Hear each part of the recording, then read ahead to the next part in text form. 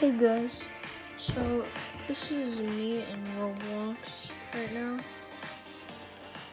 and this is my build in one of these games. One of these games, and whoever the creator of this game is, uh, this is my build.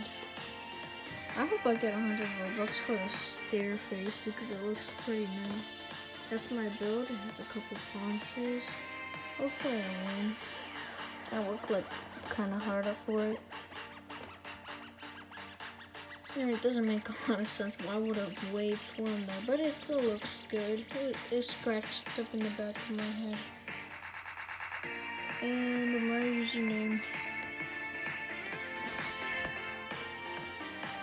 This is my build. This is my venue. So that's me if you want to find me. See you guys.